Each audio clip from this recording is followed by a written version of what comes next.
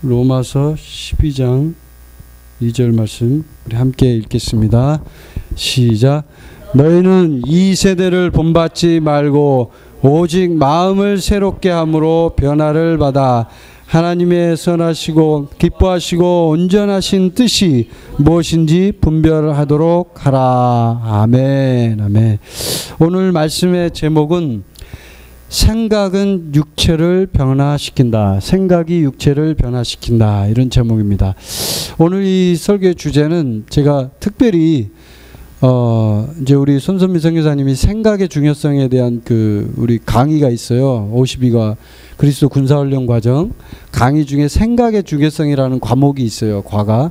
근데 그 과에 있어서 특별히 어 이제 선교사님 부담을 주셔서 제가 이 부분을 준비를 했는데 아주 중요한 내용들입니다. 그리고 실제적으로 또 뇌과학이 말하는 이 생각, 그러니까 우리가 그냥 추상적으로 생각하는 그냥 또 일반적으로 생각하는 그런 것이 아니라 과학자들이 얘기하는 이 생각, 그 다음에 우리가 또 알고 있는 어떤 지식에 있어서의 생각, 여러 가지를 통합해서 정말 이 생각이 얼마나 중요한지 또 이 생각이 왜 육체를 변화시킬 수밖에 없는지 에 대해서 제가 말씀을 드리려고 합니다.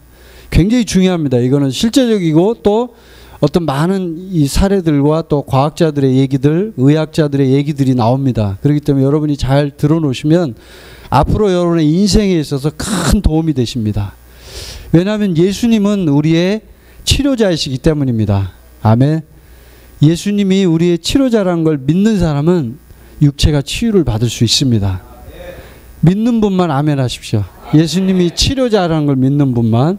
자, 그러면 오늘 이제 어, 이 말씀을 함께 나눌 때 어, 로마서 12장 2절 말씀을 지금 이제 다시 한번 여러분 보시면 너희는 이 세대를 본받지 말고 오직 마음을 새롭게 함으로 변화를 받아 이렇게 돼 있습니다.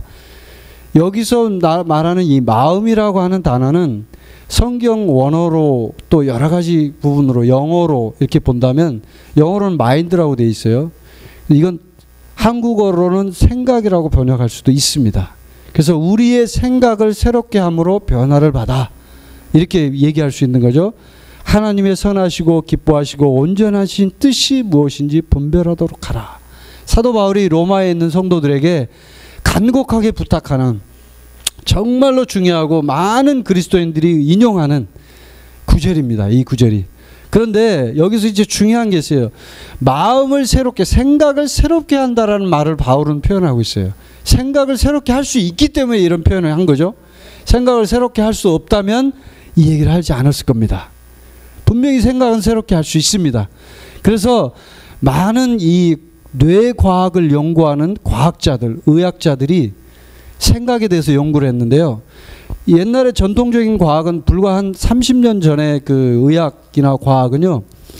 뇌가 상하면 뇌가 치매가 걸리거나 또, 또 혹은 교통상을 당해서 뇌가 손상을 당하거나 하면 뇌를 고칠 수 없다고 얘기했습니다.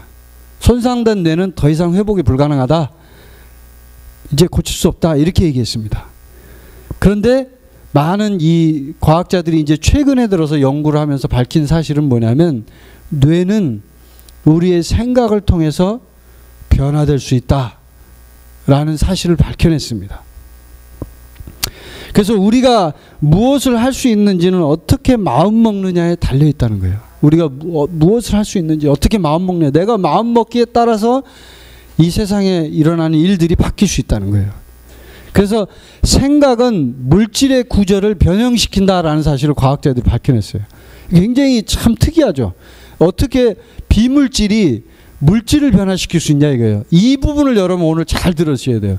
많은 사람들이 생각하는 거는 비물질, 추상적인 세계, 영적인 세계, 영혼의 세계는 육체를 도저히 어떻게 할 수가 없다. 이건 다른 세계다. 물질은 물질이고 영혼은 영혼 아니냐. 비물질이 어떻게 물질을 변화시킬 수 있냐 이렇게 얘기를 합니다. 그래서 공산주의자들은 특히 유물론주의자들이잖아요. 그러니까 어, 중국에서 제가 10년 넘게 사역을 했지만 많은 사람들이 하나님의 존재를 인정하지 않습니다. 신의 존재를 인정하지 않습니다. 왜 그러냐면 우리는 많은 동물과 같은 하나의 그 동물의 고등 동물일 뿐이다. 그래서 우리는 그냥 이렇게 살다가 죽는 것이다 라고 얘기를 합니다. 이 사람들. 그래서 그 사람들이 주장하는 과학의 근거는 뭐냐면 물질은 물질이고 영혼은 영혼이다. 그래서 우리가 영혼의 영혼이 물질에게 전혀 영향을 끼칠 수 없다라고 얘기를 했습니다. 지금까지는. 그런데 여러분 사도 바울은 분명히 오늘 이 말씀에 오직 마음을 생각을 새롭게 함으로 변화를 받아라고 얘기를 하고 있습니다. 생각을 새롭게 함으로 변화를 받을 수 있다는 얘기죠. 분명히 그렇게 얘기하는 거예요. 변화를 받아 그렇게 되면 뒤에 얘기하는 게 하나님의 선하시고 기뻐하시고 온전하신 뜻이 무엇인지 분별할 수 있다는 얘기죠. 굉장히 의미심장한 얘기예요. 생각을 새롭게 함으로 변화가 된다. 그래서 제가 오늘 제목을 그렇게 다룬 거죠. 생각이 육체를 변화시킨다. 굉장히 중요한 얘기예요. 근데 이 부분에서 많은 사람들이 생각하지 않습니다. 자, 여러분 창세기 3 1장을 한번 펴 보십시오. 창세기 1장 3절. 성경 있으신 분은 자기 성경을 한번 찾아보십시오. 자, 뇌과학의 이론과 그다음에 많은 사람들이 과학자들의 이론과 또 성경에 있는 말씀을 통해서 우리가 살펴보는 이 생각이 육체를 변화시킨다 하는 부분입니다. 창세기 1장 3절 말씀 함께 읽겠습니다. 시작. 하나님이 이르시되 빛이 있으라 하시니 빛이 있었고 빛이 하나님이 보시기에 좋았더라. 하나님이 빛과 어둠을 나누사 하나님이 빛을 낮이라 부르시고 어둠을 밤이라 부르시니라. 저녁이 되고 아침이 되니 이는 첫째 날이니라. 아멘. 하나님이 이르시되 다른 말로 하면 하나님이 말씀하시되 하나님이 말을 했는데 어떤 일이 일어났어요? 그 다음에 빛이 있으라라는 말을 했어요. 빛이 있었습니다. 아멘. 한번 생각해 보세요. 여러분의 생각을 한번 다시 뒤집어 보세요. 지금 어떤 사람이 하나님이 아니고 사람이라고 생각해 보세요. 사람이 지금 말을 했어요. 빛이 있어라.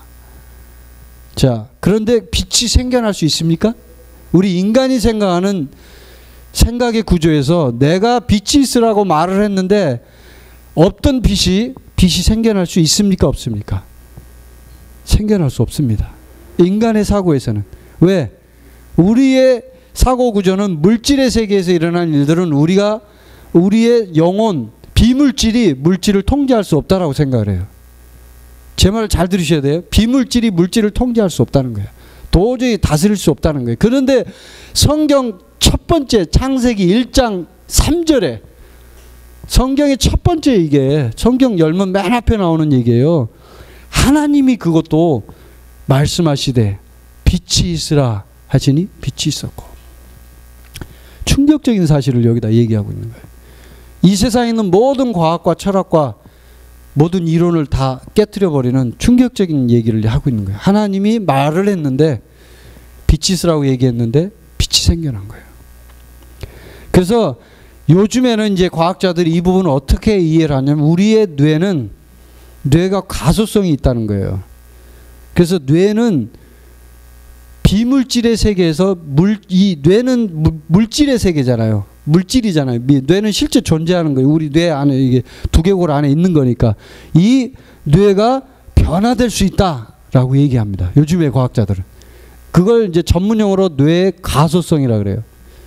어려운 용어니까 제가 그거에 대해서 뭐 그러니까 뇌가 변한다 이렇게 이해하시면 돼요. 뇌는 매일매일 바뀔 수 있다. 실제 물질을 얘기하는 거예요. 비물질이 아니고 우리의 뇌가 어떻게 해요? 우리의 생각을 통해서 변화될 수 있다. 그걸 밝혀내는 거예요. 그래서 이제 제가 실제적인 사례를 한번 말씀을 해드릴 텐데, 어, 이 어떤 한 과학자가 임상 실험을 진행을 했어요. 진짜 뇌가 그렇게 되는지, 이 물질 세계인 뇌가 비물질인 생각을 통해서 변화가 될 수 있는 건지, 도저히 이거는 믿을 수가 없는 사실이다라고 해서 실험을 진행했어요. 근데 실험을 하고 나서 충격적인 결과가 나왔어요.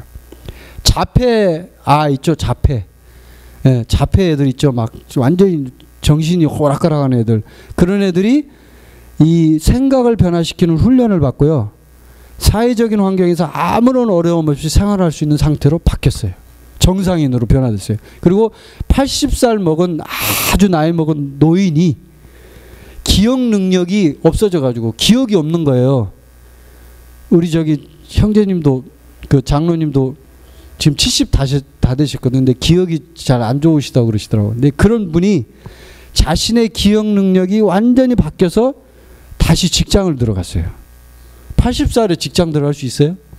못 들어가잖아요. 근데 기억 능력이 단, 단지 생각을 훈련하는 훈련 그것만 했는데 변화가 됐어요. 그리고 학교를 가서 학위까지 땄어요. 그리고 절망적인 빈곤 상태에서 성장한 약물이나 마약을 거래하고 이런 걸 투약하던 청년들, 그러니까 마약 중독자죠. 이 사람들이 완전히 180도 달라져 가지고 학교에 가서 공부를 하고 새로운 사람으로 변화됐어요. 그리고 신경 전문가 의사들이 판정하기를 당신은 식물 인간입니다. 교통사고를 당해가지고 도저히 이제 고칠 수가 없는 거예요. 식물 인간 판정을 받은 교통사고 환자가 생각 훈련을 받은 뒤에 다시 직장으로 돌아갔어요. 그 다음에 수년간 치료를 했어요. 의학에서 치료를 했는데 학습 장애를 갖고 있던 애들이 학습 장애라는 건 뭐냐면 아무리 공부를 해도 이게 안 되는 거예요. 공부를 해도 아무리 넣어도 안 들어가 머릿속에. 학습 장애가 있어요. 우리 진이도 학습 장애 중에 하나였어요. 옛날에. 우리 아들이 중국에서 학교 다녔는데요. 제가 정말 화가 나가지고 아빠 아빠로 제가 성경 암송을 이렇게 요한복음 15장 1절 나는 포도나무여 너희는 가지니 이거 있잖아요. 아주 간단한 거. 그걸 외우라고 이게 시켰어요. 그때 우리 아들이 한 20번인가 30번을 했는데도 못 외워. 너는 돌이다. 그래가지고 제가 굉장히 막 화를 내고 그랬던 기억인데 학습 장애가 있어요. 사람은 또. 근데 그 학습 장애에 있던 아이들이 생각 훈련을 받고 완전히 달라져서 성적이 엄청나게 올라가고 다른 애로 거예요. 그리고 난독증을 앓는 어린이가 있었는데 난독증 뭐냐면 이 책을 읽으면 이게 이해가 안 되는 거예요. 독해가 안 되고 읽어지지가 않는 애들, 책을 못 읽는 애들이 있어요. 그래서 읽고 쓰는 법을 할 수가 없는 아이들. 그 애들이 생각 훈련을 했는데 책을 너무 잘 읽는 거예요. 그냥 술술 읽는 거예요. 이게 바로 생각 훈련의 결과예요. 자, 지금 과학이나 의학에서 말하는 뇌는 물질의 세계입니다. 그런데 비물질의 세계인 생각을 훈련했는데 뇌가 바뀌어 버린 거예요. 이건 정말 충격적인 사실이에요. 이거는. 그래서 인간은 생각하고 선택하는 능력을 갖고 있는데 이 생각하고 선택하는 능력은 누가 주셨어요? 하나님이 주셨어요. 하나님이 주신 거기 때문에 내가 생각할 수 있다, 내가 선택할 수 있다라고 하는 것은 에덴 동산에 있을 때부터 하나님 주신 고유의 고난이고 그 능력은요 강력합니다. 강력해요. 그래서 제가 여러분에게 첫 번째 말씀드리고 싶은 중요한 요점 포인트는 생각은 물질을 변화시킨다. 자, 디모데후서 1장 7절 한번 펴 보세요. 오늘 이제 그 부담 없이 여러분이 공부하신다 생각하시고 하시면 됩니다. 디모데 후서 1장 7절 자, 첫 번째 요 포인트 생각이 물질을 변화시킨다. 자, 7절 디모데후서 1장 7절 여기 지금 없으니까 여러분이 성경 찾으셔야 합니다. 1장 7절 한번 같이 읽겠습니다. 하나님이 우리에게 주신 것은 두려워하는 마음이 아니요 오직 능력과 사랑과 절제하는 마음이니 아멘. 자, 하나님이 우리에게 주신 것이 있어요. 근데 그게 뭐냐면 두려워하는 생각이 아니에요. 두려워하는 이걸 마음은 생각으로 바꿀 수 있다 그랬죠. 두려워하는 생각이 아니고 능력의 생각, 사랑과 절제하는 생각이에요. 아멘. 그래서 이걸 이제 과학자들이 최근에 밝혀낸 건 뭐냐면 제가 계속 말씀드리죠. 뇌과학과 성경과 일반적인 것들을 다 통합해서 여러분에게 지금 말씀드린다고. 과학자들이 밝혀낸 것은 두뇌가 생각의 명령을 따른다라는 것을 밝혀냈어요. 두뇌가 이 두뇌는 물질이라고 했죠. 근데 비물질인 생각이 두뇌를 명령을 내리는 거예요. 그러면 두뇌가 어떻게 돼요? 그 명령을 따라서 바뀌는 거예요. 아까 두뇌가 뭐라 그랬어요? 뇌는 가소성이 있다 그랬죠. 변화가 된다는 거예요. 뇌는 변형이 돼. 그건 지금 현재 이미 밝혀진 뇌과학에서 밝혀진 사실이에요. 과학적으로도. 근데 이게 어떤 일로 이게 일어나냐면요.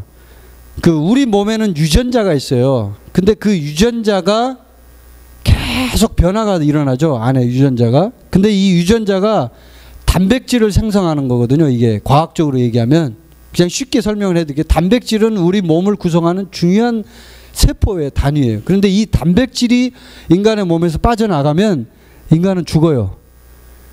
삶을 살 수가 없어요. 우리 몸에 있는 모든 이 피부의 세포에 들어있는 이 모든 게 다 단백질하고 섞여 있거든요. 근데 이 단백질이 뭐냐면 유전자를 통해서 변화가 일어난다는 거예요.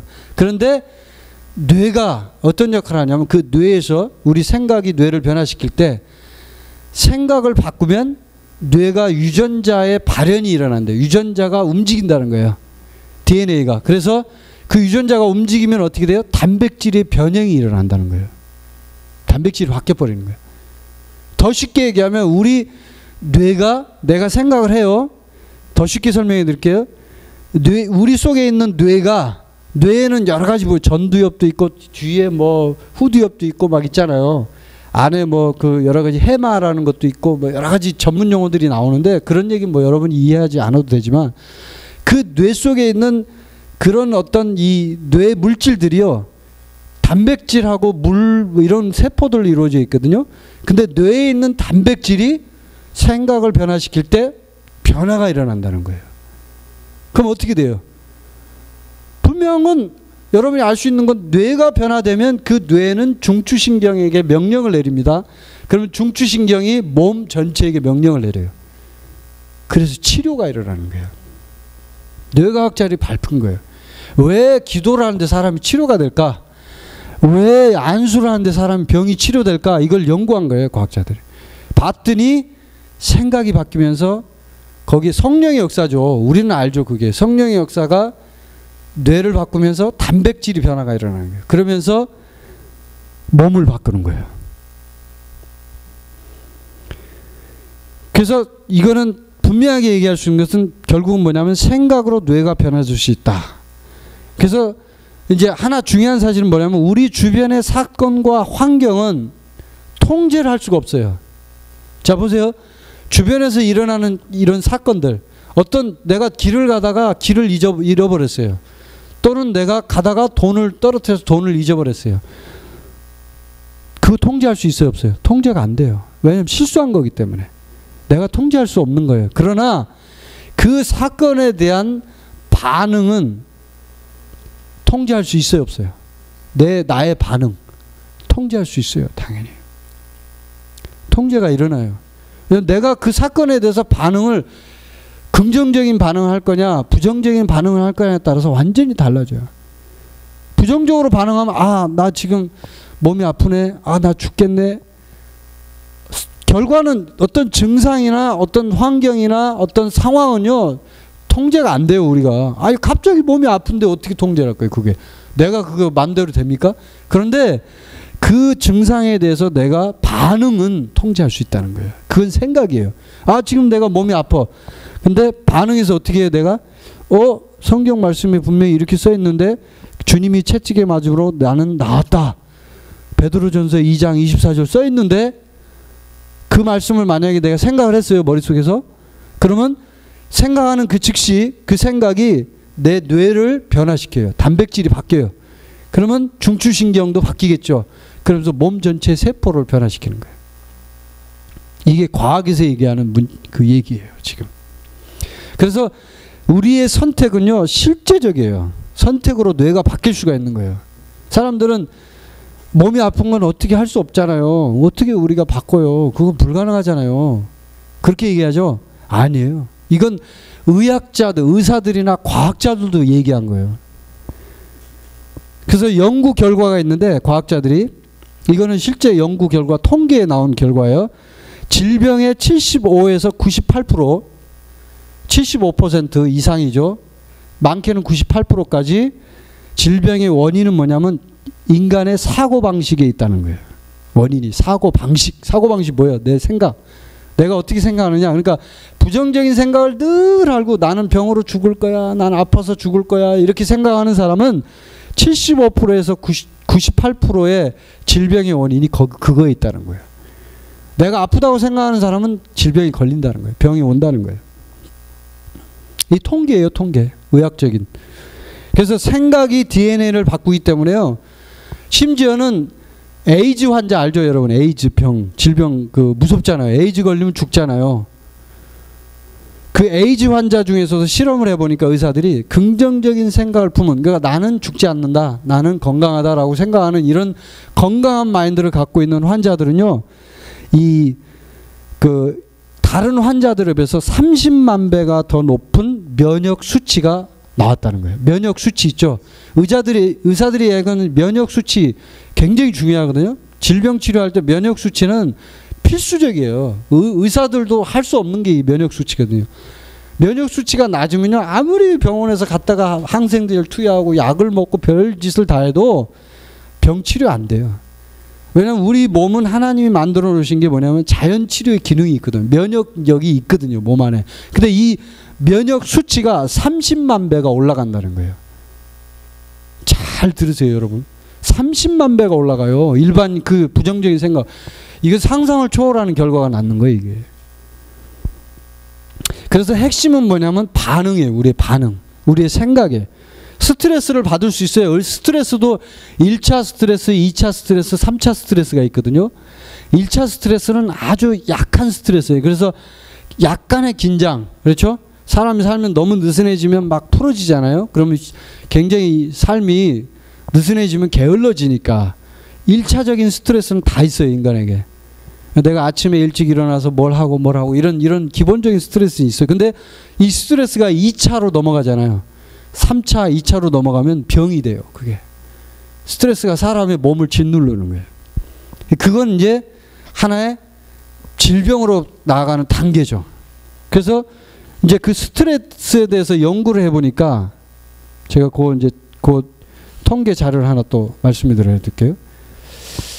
미국 의학협회 연구 결과 이건 그냥 여러분 참고하라고 알려드리는 거예요. 오늘날의 75%에 달하는 질병, 질환 있죠. 원인이 뭐냐면 스트레스예요. 이건 뭐 여러분이 많이 들어보셨을 거예요. 미국 의학협회에서 나온 얘기고 그 다음에 스트레스와 질병의 연관성은 매우 높다. 약 한 85%에 육박한다는 거예요. 스트레스가 질병에 영향을 직접적으로 주는데 85%가 스트레스로 인한 질병이다.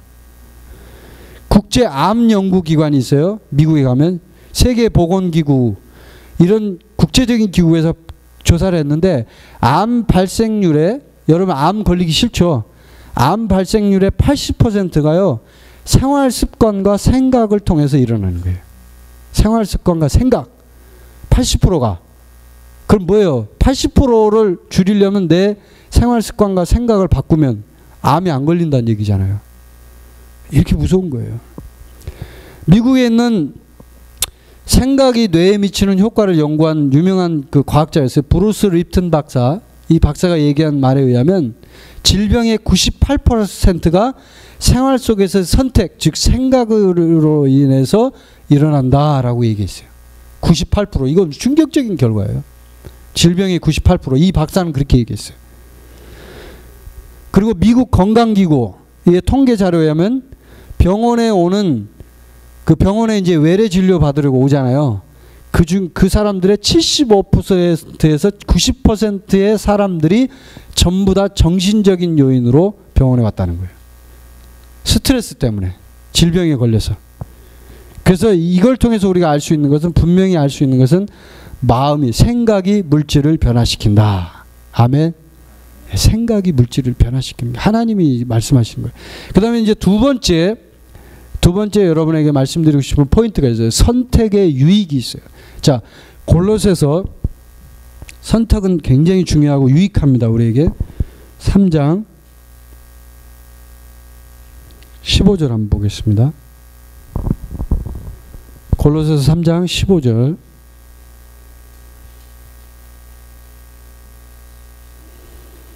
찾으셨어요? 예, 골로새서 3장 15절 자 함께 우리가 읽겠습니다. 그리스도의 평강이 너희 마음을 주장하게 하라. 너희는 평강을 위하여 한 몸으로 부르심을 받았나니 너희는 또한 감사하는 자가 되라. 아멘. 자, 이 말씀을 보면 그리스도의 평강이 너희의 생각을 주장하게 하라. 아까 얘기했죠. 마음은 생각으로 번역할 수 있다고. 그리스도의 평강이 우리의 마음을, 우리의 생각을 주장하게 하라. 자, 우리 인간에게는 자유의지가 있습니다. 여러분 다 알죠? 자유의지는 뭘 합니까? 자유의지는 선택을 할 수 있어요. 하나님이 에덴 동산에 있을 때부터 우리에게 주신 거예요. 내가 선택할 수 있도록 고유의 그런 능력을 주셨어요. 그래서 우리는 하나님께서 원하시는 방법대로 생각할 수 있어요. 선택할 수 있어요, 사실은. 그런데 왜 문제가 일어나냐면 사탄이 우리가 선택하는 이것들을 방해해요. 근데 그 선택을 방해할 때 먼저 방해하는 첫 번째 방해하는 공격 목표는 뭐냐면 우리의 생각이에요. 생각을 바꾸도록. 저도 우리 아내하고 이제 결혼 생활을 해서 지금까지 굉장히 긴 시간을 이렇게 살, 살아왔는데 제가 우리 아내를 보면서 참 많은 걸 느끼거든요. 하나님 만나고 변화되고 새로운 인생을 살고 이런 과정들 또 중국에서 10년 넘게 사역을 하면서 봐왔던 여러 가지 일들 얼마나 많은 걸 봤겠어요 제가 그걸 보면서 내가 뭘 느꼈냐면 야, 이 한 사람의 믿음이라는 것이 얼마나 많은 역사를 일으킬 수 있는지를 제가 보게 됐어요. 믿음. 그 믿음은 뭡니까, 여러분? 믿음은요, 결국은 나의 생각이에요. 생각이 얼마나, 얼마나 하나님 말씀에 많이 더 가까이 가 있느냐에 따라서 하나님 말씀대로 생각하고 말하고 행동하게 돼 있거든요. 근데 그런 것들이 우리 아내를 보면서 저는 아직 그 경지에 이르질 못했어요. 계속 훈련하고 있어요, 저도. 근데 우리 아내를 보면서 느끼는 거는 이 생각이 얼마나 중요한지 제가 많은 걸 느껴요. 정말 더 많이 느껴요. 절실하게 느껴요. 왜냐하면 생각이 바뀌면서 역사가 바뀌더란 말이에요. 생각이 바뀌니까 우리 인생 인생의 미래가 바뀌어 버리잖아요. 저희가 중국에서 사역하는 모든 그 일들 여기 지금 한국에 들어와서 지금 사역하는 이런 과정 유튜브를 통해서 사역하면서 많은 사람들을 또 훈련시키고 있는 이런 어떤 이런 일련의 어떤 과정 또 중국에서도 수없이 많은 병자들을 치유했던 그런 그런 역사들 제가 눈으로 직접 본 것들이 많이 있기 때문에 그런 걸 보면서 느끼는 거는 사람의 생각은 너무나 중요하다. 제가 그걸 느껴요. 정말 중요하다는 거예요. 인생이 바뀌어요, 인생이. 그래서 어 우리가 이렇게 선택할 수 있죠. 요한복음 15장에 보면 포도나무이신 주님과 연합한다는 얘기가 나오죠. 나는 파도, 포도나무니 너희 포도나무요 너희는 가지니 그러잖아요. 그럴 때 주님이 포도나무고 내가 가지인데 가지가 포도나무에 붙어 있는 것을 선택할 수 있어요, 없어요? 선택할 수 있죠. 내가 붙어 있겠다라고 선택을 하면 그런 말 그 말씀을 붙잡고 선택을 하면 그렇게 되는 거예요. 그래서 뇌과학자들이 연구를 해 보니까 낮에 여러분이 생각하는 거 있죠? 낮에. 낮에 생각하는 것들은 그 이게 쌓는 과정이고요. 낮에 저 여러분이 깨어 있을 때 그리고 밤에 잠잘 때도 생각을 하거든요, 사람이. 그때는 생각을 분류하는 그런 작업이래요. 그래서 이 생각이 얼마나 중요하냐면 낮에 깨어 있을 때 내가 어떤 정보들을 수집하느냐에 따라서 밤에 잠을 잘 때요. 잠을 잘 때는 무의식의 세계라 그러는데 과학자들은 그것을 우리는 영의 세계라 그러죠. 그거를 영의 세계에서 분류 작업이 일어나요. 분류를 시켜요. 밤에 잘 때 막 우리는 자고 있잖아요. 근데 분류가 막 해요. 그 구분을 해요. 딱딱딱딱 정리를 해요. 밤에. 낮에는 정리를 못 해요. 낮에는 수집을 하기 때문에 생각을 정리할 수 있는 시간이 없어요. 이렇게 들어오는 정보를 입수하고 또 밖으로 표출시키고 이러는 것이기 때문에 그래서 모든 생각 행위는 뭐냐면 우리 인생에 있어서는 아주 실제적이에요. 생각은 그냥 마음대로 하면 된다라고 많은 사람이 생각하죠. 생각은 자유야. 행동만 안 하면 되잖아. 이렇게 얘기하잖아요. 그런데 생각 행위 자체가 실제예요. 왜냐하면 제가 말씀드렸죠. 생각은 물질을 만들어내요. 아까 얘기했잖아요. 하나님이 말을 했는데 하나님이 생각을 했는데 세상이 창조됐어요. 그래서 이것이 단백질을 아까 제가 얘기했죠. 유전자가 단백질을 변화시켜요. 그래서 앞으로는 이제 어떻게 되냐면 의사들이 실제 해, 하는 얘기인데 앞으로 의학이 이제 점점 발달하면요 어떻게 되냐면 정신의학이 발달되잖아요. 근데 이게 크리스찬 의사들이 어떤 얘기를 하냐면 앞으로 처방전을 쓸 때 의사들이요 약만 단순히 물질적인 약만 주는 게 아니라 성경 말씀을 처방전에 써서 주는 그런 날이 올지도 모른다는 얘기예요. 네? 베드로전서 2장 24절 의사 병원에 가서 처방전을 쓰는데 이 환자한테 이 약을 드십시오 하고 딱 주는데 보니까 베드로전서 2장 24절. 왜? 왜요? 제가 얘기했잖아요. 과학자들이 지금 증명을 하고 있다고 그거를 생각이 물질을 변화시킨다는 거예요. 생각이 물질을 만들어낸다는 거예요. 그래서 생각을 통해서 강력한 면역 체계가 생기기 때문에 그래요. 자, 그다음에 세 번째 포인트는 우리의 선택이 뇌를 변화시킨다 그건데 지금 같은 얘기인데 로마서 12장 2절 한번 다시 돌아가 보세요. 조금 전에 자, 로마서 12장 2절 조금 전에 그걸 돌아가 보면 너희는 이 세대를 본받지 말고 오직 마음을 새롭게 함으로 생각을 새롭게 함으로 변화를 받아. 이 말씀이 다시 나왔어요. 이 세대를 본받으면 어떻게 사람이 살게 되죠? 이 세대는 많은 이론이 있습니다. 제가 지금 얘기하는 이거 말고도요 수없이 많은 이론이 있어요. 우리 최광수 장로님 보니까 책을 많이 읽으셨더라고요. 지식이 막 충만하시더라고 제가 보니까 굉장히 많은 지식 있잖아요. 이 세상에는 수없이 많은 책이 있어요. 근데 그런 이 세상에 있는 것들을 통해서 우리가 그것을 본받으면 어떻게 될까요? 그것에 따라서 가야 돼요. 그렇죠? 세상에서 얘기하는 지식은 세상에 논리가 있어요. 세상에 어떤 그런 관점이 있어요. 생각이 있어요. 그럼 그 세상의 생각대로 따라가게 되면 인간은 어떻게 됩니까? 그렇게 흘러가야 돼요. 근데 바울은 그렇게 얘기하고 있지 않아요. 세대를 본받지 말라는 거예요. 너네 그거 본받지 마. 그거 따라가지 마. 그럼 어떻게 오직 오직 only 생각을 새롭게 해. 네 생각을 새롭게 해. 그럼 변화돼. 핵심이 바로 거기 있더라고요. 생각을 변화시키는 거. 그러니까 성령을 체험하는 거 말고, 예? 우리가 쉽게 얘기하는 성령 체험 있잖아요. 우리 최광수 장로님도 그렇고, 우리 손선미 성교사님도 그렇고, 저도 그렇고, 성령 체험, 우리 저기 노이세 집사님도 그렇고, 성령 체험을 하잖아요. 그러면 사람이 바뀌어요. 그거는 아주 극적인 체험이기 때문에 이것도 뇌과학에서도 얘기합니다. 그걸 실제적으로. 변화가 일어나요, 사람이. 근데 그거 말고 일상생활 속에서 변화를 일어날 수 있는 가장 유일하고 가장 확실한 방법은요. 내 생각을 변화시키는 거예요. 새롭게 하는 거예요. 근데 그거는 선택을 통해서 일어나는 거예요. 그래서 생각은 신경외과 의사와 같다 그랬어요. 의사 의사 생각은 신경 신경을 변화. 그래서 잠언 23장 한번 보세요. 거기 아주 좋은 말씀이 하나 있는데 구약 성경에 잠언 23장 7절 네, 한번 보세요. 잠언 23장 7절 같이 읽어보겠습니다. 시작. 대저 그 마음의 생각이 어떠하면 그 위인도 그러한즉 그가 내게 먹고 마시라 할지라도 그의 마음은 너와 함께하지 아니함이라. 아멘. 자 앞에 부분에 나오는 말 잘 보세요. 그 마음에 그 마음의 생각이 어떠하면 그 사람도 그러하다. 생각을 어떻게 하느냐에 따라서 그 사람의 인생이 운명이 그 사람의 본질이 바뀐다는 거예요. 무서운 말이죠. 그 생각은 신경외과 의사와 같아요. 우리의 생각과 선택이 두뇌와 몸에 영향을 끼쳐요. 그래서 이거는 과학적으로 하나님의 은혜가 사람을 변화시킨다는 아주 과학적인 증거가 되는 거죠. 그래서 뇌는 일생 동안 가소성이 있어서 바뀌어요. 재조직이 돼요. 뇌가.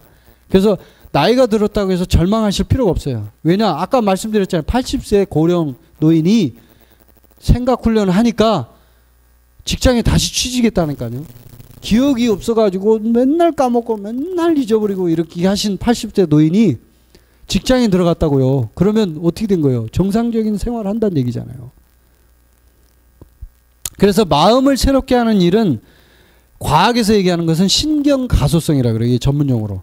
그래서 생각을 바꾸는 일이 작업이 통해서 뇌가 바뀐다는 거죠. 그래서 긍정적인 생각을 품고 어떤 사건을 접근하는 그런 일들을 자꾸 하면 이게 쉽게 설, 설명을 해서 이렇게 되는 거예요. 어떤 사람이 과거에 어떤 사람하고 이제 이렇게 인간관계를 맺었어요. 제가 쉽게 설명을 해드리는 거예요. 근데 이 사람하고 관계를 맺다가 이 사람이 이 사람을 배신을 했어요. 그래가지고 아주 충격적인 결과를 보게 됐어요. 배신을 하면 막 완전히 앞뒤도 안 보고 완전히 인생 끝장나잖아요. 그래갖고 완전히 절단이 나서 절교하고 만나지도 않고 많은 그 쓰라린 어떤 고통을 이제 겪게 되죠. 인간관계 고통이 참 크거든요. 인간에게는 어렵거든요. 근데 그런 그 기억이 그 사람에게 남아 있어요. 이 생각 속에, 뇌 속에. 근데 그것을 어떻게 하냐면 이 신경 가소성에서 뇌과학에서 얘기하는 생각 훈련은 뭐냐면 그 기억을요 다시 끄집어내요. 그러니까 적극적으로 대처하는 거죠. 사람은 잊어버리려고 그러잖아요. 그냥 아 잊어버리면 되지. 아유 내가 그냥 잊어버리고 끝내지 뭐 이렇게 하고 그냥 하지만 뇌 속엔 남아 있어요 그게.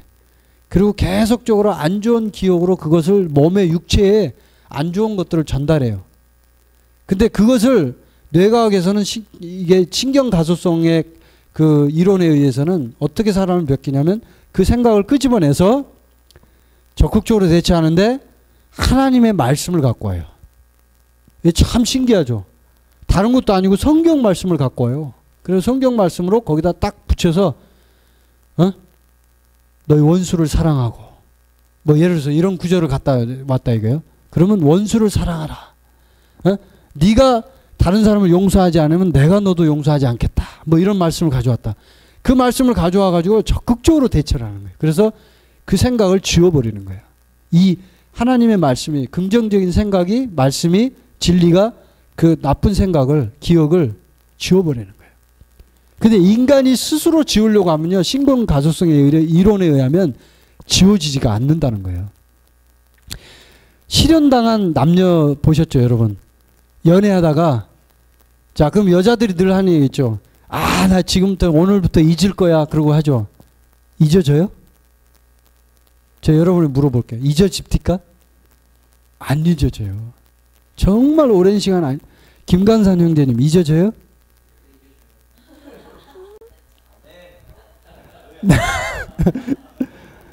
저 인간이 아니야? 안 잊어져요. 정말 사랑, 진실로 사랑했다면 아, 사랑 안 한 거지. 이게 오래 가요. 굉장히 시간이. 근데 말씀으로 그 생각을 바꾸려고 하면 그게 바꿔진다는 거예요. 말씀으로. 과학에서 얘기하는 거예요. 그게. 그래서 긍정적인 생각을 품고 다시 그 사건에 접근하는 그 생각에 그게 이제 말씀으로 바꾸는 건데 빌립보서 4장 8절에 보면 그게 성경적으로 어떻게 되는지가 나와 있어요. 자, 한번 보여드릴게요. 빌립보서 4장. 우리는 항상 말씀으로 봐야 되니까 과학자가 무슨 얘기를 하든지 우리는 말씀으로 봐야 되니까 빌립보서 4장 8절 바울이 이제 얘기하는 건데 자 함께 읽어보겠습니다. 빌립보서 4장 8절 끝으로 형제들아 무엇에든지 참되며 무엇에든지 경건하며 무엇에든지 오르며 무엇에든지 정결하며 무엇에든지 사랑받을 만하며 무엇에든지 칭찬받을 만하며 무슨 덕이 있든지 무슨 기림이 있든지 이것들을 생각하라. 아멘. 뭐라고요? 이것들을 생각하라. 이것들을 생각하라. 이것들을 생각하면 어떻게 돼요? 평강의 하나님이 너희와 함께 하셔서 너희가 바뀐다 이거예요. 변화된다는 거예요. 굉장히 중요하죠. 그래서 우리의 변화는 우리는 변화할 수 있는 능력을 갖고 있기 때문에 우리의 변화는 우리에게 달려 있는 거예요, 결국은. 하나님께 달려 있는 게 아니고 스스로 뇌 수술을 할 수 있다는 거예요. 내가 뇌 수술을 내가 의사가 아니에요. 그러나 내가 뇌 수술을 하는 거예요. 그게 뭐요? 습관을 바꾸고 생각을 훈련하는 거예요. 자, 다시 한번 이렇게 뇌 수술이 뭐라고요? 습관을 바꾸고 생각을 훈련하는 거예요. 다시 한번 얘기 중요한 요 말은 중요하니까 다시 얘기할게요. 뇌 수술이 뭐냐고요? 습관을 바꾸고 생각을 훈련하는 거예요. 내가 습관이 지금 이런 습관이 있다. 나는 꼭 일주일에 한 번, 한 번은 꼭 술을 한 잔 먹어야 돼. 그래야 나는 이게 풀려 이런 사람들이 습관이에요, 그게. 굳어져 있는 거예요. 이 몸이 그렇게 반응을 하, 게 만들어져 있거든요. 근데 그거를 습관을 바꿔요. 생각을 바꿔요. 나는 이제 죽을 거야. 바꿔요. 어떻게 돼요? 뇌가 수술이 일어나요. 진짜로. 뇌과학에서 얘기하는 거예요. 진짜. 아까 말했잖아요. 유전자가 DNA가 발현이 일어나서 단백질이 바꿔진다니까요. 그건 제가 얘기하는 게 아니에요. 과학자들이 얘기하는 거예요, 이게.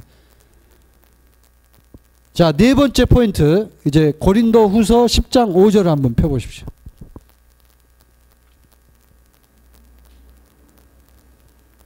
고린도 후서 10장 5절. 네 번째 포인트는 뭐냐면 생각을 사로잡아라. 이런 포인트인데 다 생각에 대한 얘기예요, 어차피. 근데 10장 5절에 보면 고린도후서 10장 5절 중요한 구절입니다. 자, 같이 읽어보겠습니다. 시작.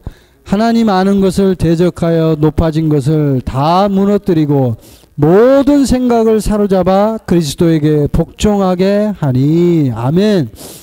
이 구절에 보면 하나님을 아는 것을 대적하여 높아진 것이 나와요. 이거는 이 세상에서 말하는 이론이고 이 세상의 철학이 이게 대적해요. 하나님을 알라고 하는데 대적해요. 이런 철학들이.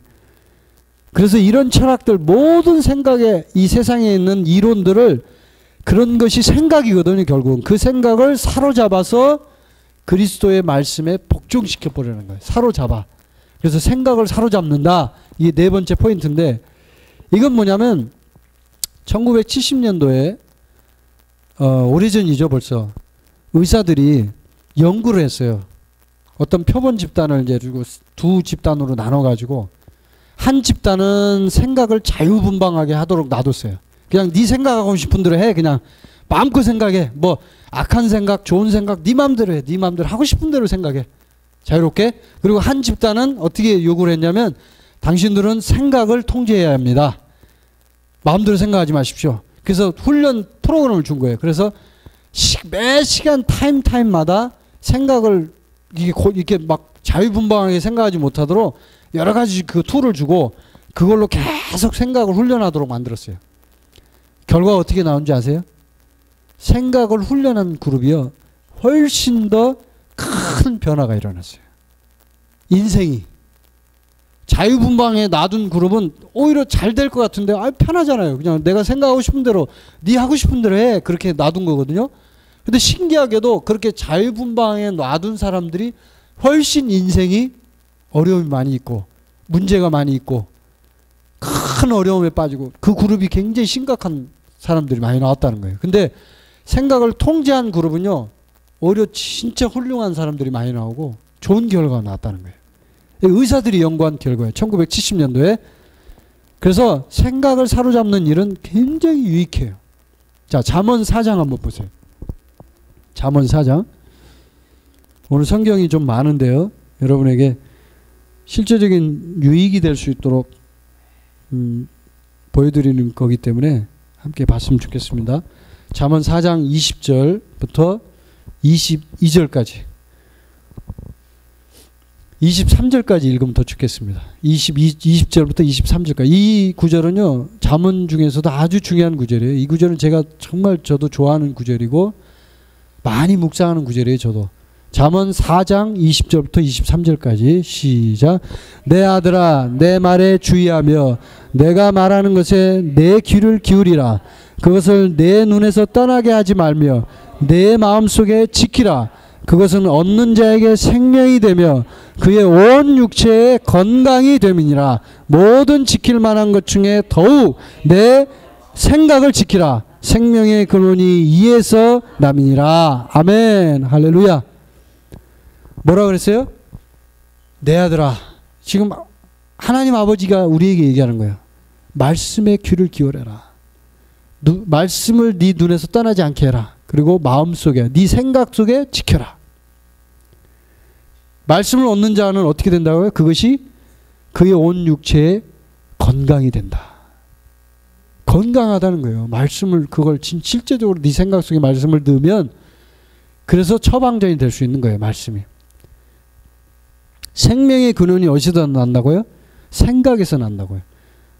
지킬 만한 것 중에 네가 지킬 수만 있다면 할 수만 있다면 이런 얘기예요. 이 문장의 뜻은 할 수만 있다면 네 생각을 지켜. 왜?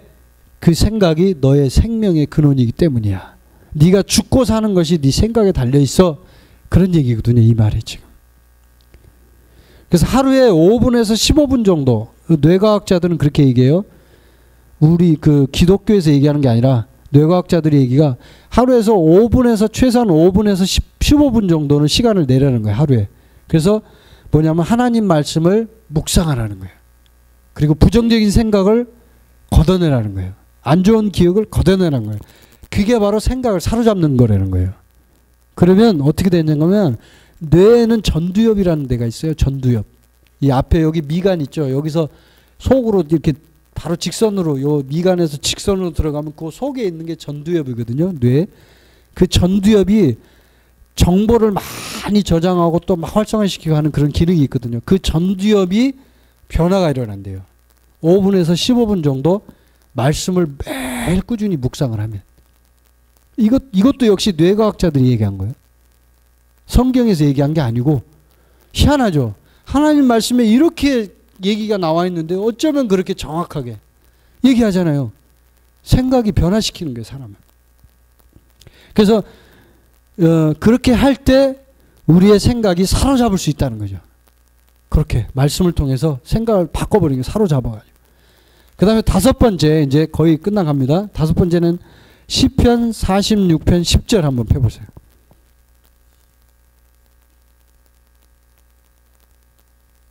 시편 46편 10절 자, 시편 40 요거 요거 이 다섯 번째 포인트는 뭐냐면요. 안식을 연습하라 이거예요. 안식을 연습하라. 이것도 굉장히 중요한 포인트거든요. 자, 시편 46편 10절 시작. 이르시기를 너희는 가만히 있어. 내가 하나님 됨을 알지어다. 내가 문나라 중에서 높임을 받으리라. 내가 세계 중에서 높임을 받으리라 하시도다. 아멘. 자 이게 쉬운 성경에 보면 뭐라고 되어 있냐면요. 조용히 하여라. 내가 하나님인 것을 알라. 이렇게 되어 있어요. 조용히 하여라. 뭐냐면 안식하라. 이 얘기예요. 그래서 안식을 연습하는 것은 우리 생각을 훈련할 때요, 굉장히 중요한 부분이에요. 그건 뭘 말하냐면, 말씀을 묵상하고 읊조리고 말씀을 계속 하잖아요. 묵상은 읊조리는 거거든요. 하가라는 히브리어로 볼 때 계속 말로다가 막 계속 뱉어내는 거예요. 근데 이 우리의 뇌는요, 신기하게도, 어, 하나님 그렇게 만들었어요. 하나님도 7일째 안식을 하셨죠. 안식이라는 것이 우리 인간에 굉장히 중요하거든요. 사람은 쉬어야 돼요. 반드시. 쉬지 않으면 사람은 죽어요. 근데 뇌도 마찬가지예요. 뇌도 쉬지 않으면요. 병에 걸려요. 뇌가. 그래서 초기화 모드라는 게 있죠. 초기화 모드. 여러분 핸드폰 사시거나 컴퓨터 사시면 초기 부팅을 하잖아요. 초기화 모드. 완전히 그냥 백을 완전히 새로 이렇게 부팅을 하는 거. 그 초기화 모드를 하는 것이 바로 안식하는 거예요. 안식. 조용히 해라. 그 안식을 할 때 어떤 일이 일어나면 뇌과학자들이 얘기하는 것은 뇌가 또 역시 변화가 된다는 거예요. 뇌가 쉬면서 안식 상태로 들어가서 초기화 모드로 들어간대요. 그러면 이 정기적으로 이렇게 쉼을 갖는 사람들, 예를 들어서 일주일에 한 번 나는 쉰다. 그래서 쉬는데 그냥 쉬는 게 아니라 막 퍼질러 자는 그걸 말하는 게 아니고요. 말씀을 묵상하면서 조용히 하나님과 시간을 보내는 거예요. 그런 시간을 갖는 사람은요, 정기적으로 그런 시간을 갖는 사람은 면역력이 다른 사람보다 몇 배나 증가가 된대요. 우리 몸에 있는 면역 수치, 면역력이 증가가 일어난대요. 이것도 역시 과학자들이 얘기한 거예요. 뇌과학자들이. 제가 오늘 서두에 말씀드렸죠. 뇌과학과 의학과 여러 가지를 통틀어서 제가 말씀드린다고. 그래서 이렇게 뇌가 쉴 때 뇌는 정상적으로 작동하는 거예요. 뇌가 쉬지 않으면 어떻게 돼 있어요? 뇌 기능이 문제가 생기죠. 그래서 일을 많이 하는 왜 직장인들 중에 스트레스 과다 뭐 그런 거 있죠 왜 스트레스 과다가 일어나면요 뇌가 쉬질 못해 가지고 뇌 전두엽이요 전두엽이 마비가 일어나요 뇌 전두엽이. 그래가지고 뇌가 일시적으로 장애를 일으켜요. 그게 뭐냐면 정신병원에서 말하는 뭐냐면 기억장애, 우울증 이게 바로 그거예요. 정신병원에서는 그걸 알 수가 없어요. 우울증이라 그래요. 그냥 기억장애라 그러고 어? 당신 뇌가 망가졌다 그래요. 근데 그게 아니에요. 우리가 하나님 말씀을 통해서 보면 뭐냐면 하나님은 그렇게 창조를 해놨어요. 너희가 7일째는 쉬어라 이거예요. 쉬어라. 쉬, 계속 일하지 말고 하루는 쉬어라 이거예요. 하나님의 창조의 법칙이거든요. 근데 이 뇌를 쉬어주지 않고 계속 거기다가 뭘 집어넣느라고 하루 종일 거기다 뭘 정보를 막 집어넣어요. 그럼 어떻게 돼요? 뇌가 에? 야 그만 넣어 주인한테 나 좀 쉬고 싶어 뇌 뇌가 뇌가 쉴 때 가장 필요한 건 뭐냐면요 조용히 있는 거예요. 조용히 있는 거. 그냥 아무것도 하지 말고 조용히 안식을 하는 거예요. 안식. 근데 안식이 안식을 해도 생각은 하잖아요. 뇌가. 근데 그 생각이 뭘 하냐? 하나님 말씀을 집어넣는 거예요. 그럼 신기하게도 몸의 면역력이 높아져요. 이 뇌과학자들이 얘기한 거예요. 아, 이 놀라운 사실이죠. 근데 사람들은 그걸 모르고 거기다 내가 난 쉬어 그러면서 술을 술을 막 부어 거기다가 난 쉬어 그리고 친구들하고 만나갖고 막 그냥 소주를 다섯 병 먹어. 뇌가 더 망가져요. 진짜예요. 뇌가 더 망가져, 뇌가 더 썩어요. 점점점. 그래서 이 안식은 굉장히 중요하고요. 안식이 잘 이루어지는 묵, 묵상이 잘 이루어지는 사람은 신기하게도 행동이 나타난다는 거예요. 왜 그러냐면 안식을 통해서 재정리가 되기 때문에 그것이 확고해져서 그것이 생각이 확고하면 그게 뭐예요? 믿음이죠. 그럼 그 믿음이 행동으로 나타나요. 야고보서에 뭐라 그랬어요? 행함이 없는 믿음은 죽은 것이니라 그렇게 얘기했죠. 왜 그런 일이 일어나면 오늘날 많은 한국 교회에 설교가 그렇게 많고 많은 일이 일어나지만 왜 사람들이 성도들 변화가 안 일어나냐면 생각을 바꾸지 않으니까 안식을 하지 않으니까 말씀을 집어넣어서 묵상을 하지 않으니까 행동이 안 나타나는 거예요. 그래서 뇌는요 마음의 명령을 따르기 때문에 조용한 시간이야말로 우리의 내면을 살필 수 있는 최적의 시간이에요. 최적의 시간. 그래서 여러분이 만약에 내가 지금 굉장히 큰 결정을 해야 된다. 그래서 어떤 결정을 해야 되잖아요. 그러면 친구들 만나가지고 막 얘기하고 그러지 말고 그그 그게 그 결정이 아니에요. 먼저 하나님하고 시간을 보내셔야 돼요. 조용히 앉아요. 앉든지 눕든지 좋아요. 편안하게. 그냥 조용히 혼자 있으세요. 그러면서 하나님 말씀을 묵상하세요. 그러면 어때요? 행동을 할 때 강력한 행동이 나타나요. 사람은 한 번에 한 가지 일만 집중할 수 있잖아요. 두 가지 일을 하기 힘들어요. 두 가지 일을 하는 사람은 그건 뇌가 이미 망가지는 걸 작정한 사람이에요. 예를 들어서 어떤 뭐 다중 다중 업무를 보는 그런 사람 있잖아. 막 전화 받으면서 막 글을 쓰고 막 뭐 또 밑에 막 뭐 발로 막 뭘 뭐 하고 막 그런 분 있잖아요. 왜 운전하면서 막 핸드폰 들고 막 한참 통화하고 이런 모든 행위들이 전부 뭐냐면요. 뇌를 망가뜨리는 거예요. 뇌과학자들이 얘기한 거예요. 하, 사람은 한 가지 일에 집중하도록 돼 있어요. 근데 그걸 망가뜨리는 거죠. 그래서 여섯 번째 포인트는 뭐냐면 생각과 선택은 능력이 있다. 이건데 자, 신명기 30장 19절 한번 보겠습니다. 거의 이제 마지막으로 가고 있습니다. 신명기 30장 19절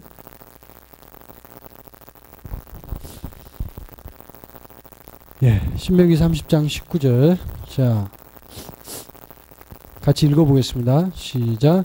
내가 오늘 하늘과 땅을 불러 너희에게 증거를 삼노라. 내가 생명과 사망과 복과 저주를 내 앞에 두었은즉 너와 내 자손이 살기 위하여 생명을 택하고 아멘. 자 하나님이 여기에 이스라엘 백성에게 명령을 내립니다.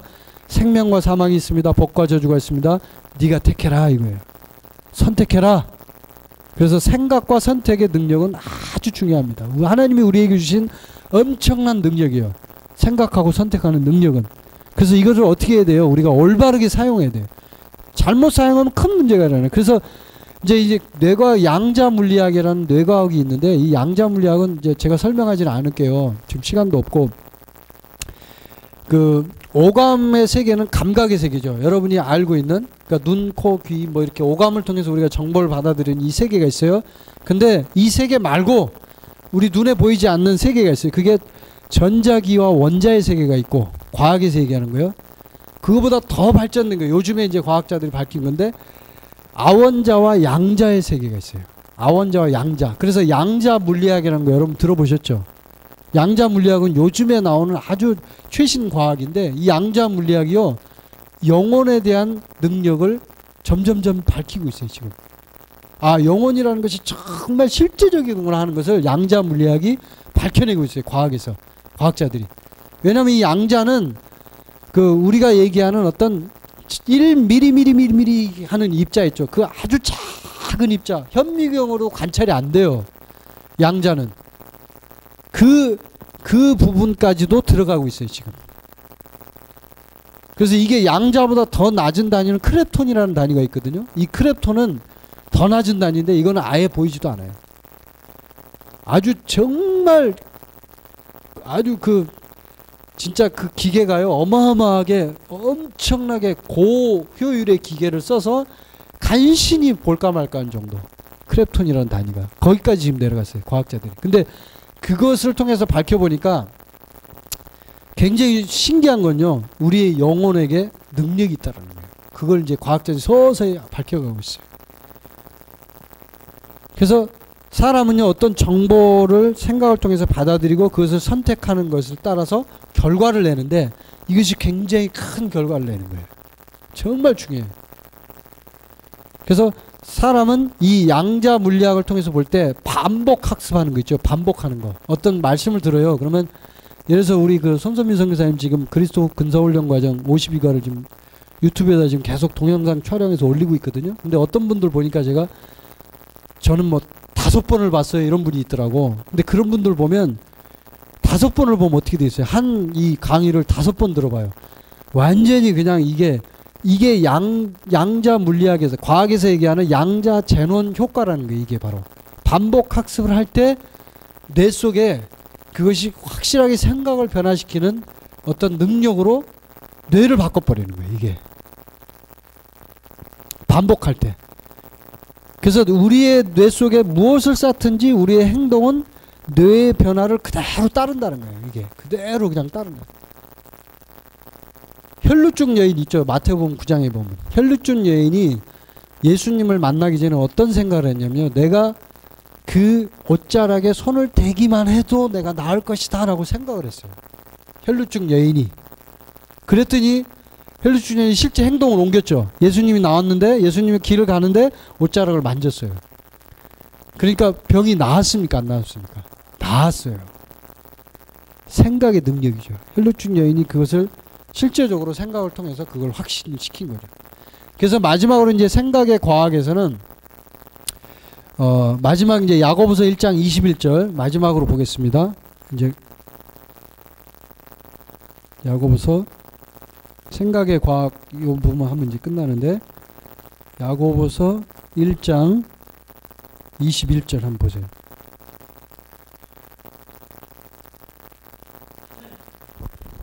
자, 21절 한번 같이 읽겠습니다. 시작. 그러므로 모든 더러운 것과 넘치는 악을 내버리고 너희 영혼을 능히 구원할 바 마음에 심어진 말씀을 온유함으로 받으라. 아멘. 이게 뭐냐면 너희 영혼을 능히 구원할 수 있는 그 하나님의 말씀을 너희 생각에 예? 생각이 심어진 그 말씀을 온유함으로 네가 받아라 이거예요. 생각에 생각의 과학은 뭐냐면 뇌를 얘기, 어떻게 얘기하냐면요. 입출력 장치가 아니라 그래요. 과학이 이미 밝히기 그 전에는 뇌를 입출력 장치라고 생각을 했어요. 그래서 그냥 정보를 받아들이고 빼내고 받아들이고 빼내고 이렇게 생각을 했거든요. 근데 요즘의 과학은 어떻게 얘기하냐면 입출력 장치가 아니다. 왜냐하면 우리의 뇌는 우리의 생각에 반응하도록 만들어진 하나님의 작품이다라고 얘기를 해요. 아멘. 예, 이게 과학자들이 요즘 밝히는 내용이에요. 그래서 좀 더 쉽게 이제 요 얘기만 하면 마치는데 우리의 그 의식은요 무의식의 세계가 있어요. 자, 무의식의 세계는 과학의 용어로 메타인지라 그래요. 이거를. 근데 무의식의 세계는 우리가 성경에서 말하는 그 뭐냐면 영이에요. 영. 영의 세계, 무의식의 세계, 메타인지. 그 다음에 의식의 세계가 있어요. 인지 단계죠. 깨어 있을 때 우리가 어떤 말을 듣고 생각을 하고 하는 모든 것이 의식의 인지 단계예요. 그 다음에 또 하나는 상징적인 결과물의 단계가 있어요. 그 상징적 결과물은 뭐냐면 내가 생각하는 것들을 말하고 뱉어내는 거. 그게 이제 상징적 결과물이에요. 행동으로 나타내는 거. 그래서 생각은 이 세 가지 그 시스템으로 이루어져 있는데 메타인지는요. 우리 생각이 있어서 90%를 차지해요. 굉장히 중요하죠. 자, 제가 얘기했죠. 메타인지가 뭐라고요? 영의 세계예요. 근데 영의 세계가 우리 생각의 몇 프로를 차지한다고요? 90%. 이거 과학자들이 얘기하는 거예요. 90%를 차지해요. 영의 세계, 세계가. 그리고 이 의식적인 인지 단계, 의식할 수 있는 거 10%밖에 안 돼요. 우리 생각에서. 그러니까 내가 낮에 깨어 있을 때 어떤 얘기를 듣고 설교를 듣고 말씀을 듣고 이렇게 공부를 하잖아요. 그것을 반복해서 계속 내 생각을 바꾸는 훈련을 하지 않으면 잊어버린다는 얘기죠. 그리고 무의식의 세계인 영의 세계로 그 말씀이 들어가지 않는다는 얘기예요. 90%는 무의식의 세계예요. 내가 아 몰라요. 전혀 몰라요. 무, 90%가 생각이 무의식의 세계인데요. 그게 전문 용어로 메타 인지 단계라고 그래요. 근데 그 무의식의 세계가 신기한 건요. 우리의 세, 말과 행동의 거의 대부분 99%를 결정하는 게 메타인지 단계의 생각이 우리의 생, 말과 행동을 결정해요. 아주 중요한 얘기예요. 보세요. 내가 인식을 못하는 영역이 이거는 내가 어떻게 통제를 할 수가 없어요. 이거는 메타인지는 영, 영의 세계이기 때문에. 근데 이것을 90%를 차지하고 있는데 요게 나의 말과 행동의 99%를 요 메타인지 단계가 영향을 준다는 거예요. 그럼 결국 뭐예요? 내 말과 행동이 99%의 영의 세계에서 일어난 일들을 통해서 밖으로 표출된다는 얘기예요. 그래서 성경에 보면요. 예수님이 늘 얘기했지만 너희가 말로만 주여 주여 하고 천국에 들어가 너 못 들어가 하는 얘기가 뭐냐면요. 행함이 없는 믿음은 죽은 믿음이다라고 하는 얘기가 뭐냐면요. 네가 믿었어? 그럼 넌 행동이 나와야 돼. 이 얘기예요. 왜? 영적인 세계 90%의 메타인지 단계가 행동 행동 말과 행동에 99%의 영향을 주기 때문에 네가 진짜 믿었다면 영에서 믿었다면 말로만 믿는 게 아니라 믿었다면 행동으로 나타난다는 거죠. 그래서 그 얘기를 하는 거예요. 왜 당신 행동이 안 바뀝니까? 아직 안 된 거죠. 그래서 메타인지 단계를 변화시키기 위해서는 어떻게 해야 돼요? 의식의 단계가 10%라고 했죠, 제가. 그 10%의 단계에서 중요한 게 있어요. 10%의 단계, 그 인, 의식적 인지 단계는요, 정보를 수집하는 역할을 많이 하거든요. 들어야 돼요, 뭔가 말을 들어야, 깨어 있을 때 하니까. 그 들은 정보를 계속 주입시켜서 메타인지 단계로 집어넣는 거예요, 이게. 이 인, 의식적 인지 단계가. 그럼 메타인지 단계로 이 정보가 계속 많이 들어가면 많이 들어갈수록 어떻게 되겠어요? 메타인지 단계가 변화가 일어나죠. 그러면 그 90%의 메타인지 단계가 말과 행동을 바꿔버려요. 그래서 성경에서 바울이 그렇게 얘기하는 거예요. 너희 생각을 새롭게 함으로 변화를 받아. 그렇게 얘기하는 거예요. 너희는 이 세대를 본받지 말고 생각을 새롭게 함으로 변화를 받아. 왜? 그건 내가 해야 되는 거지. 하나님이 해주는 게 아니에요. 하나님도 못해요. 내가 해야지. 네가 생각을 바꿔야 되는데 하나님이 그냥 가가지고 뇌 수술해가지고 네 뇌를 확 바꿔갖고 바꿔주나요? 안 바꿔줘요 하나님도. 생각을 바꾸는 건 메타인지 단계에서 일어나는 거기 때문에 내가 얼마만큼 많은 정보를 입수해서 메타인지 단계로 계속 집어넣느냐에 따라서 메타인지 단계가 나의 말과 행동을 바꿔버려요. 그래서 이제 이게 이제 끝나는 건데 이것을 훈련해야 돼. 이것을 훈련. 굉장히 중요해 이 훈련이. 그, 그 훈련은 제가 이제 시간이 허락한다면 다음 주에 훈련하는 방법, 실제 훈련하는 방법이 있거든요. 그 훈련 방법에 대해서 제가 또 말씀을 드리겠습니다. 이건 이제 뇌과학에서 지금까지 밝혀졌던 거고 그래서 이런 것들을 통해서 우리가 어, 알 수 있는 게 있죠. 정말 중요한 건 뭐냐면 우리 생각이 너무 중요하다. 그렇죠. 이건 제가 지금 여러 가지 것들을 통해서 여러분의 정보를 준 것인데 이 정보를 통해서 우리가 하나 결심해야 될 게 있어요. 그 뭐냐면 내 생각을 바꿔야겠다. 내가 말씀을 통해 생각을 바꾸자. 그럼 내 육체가 건강해지는구나. 얘기했죠. 뇌가 변화가 일어난다고.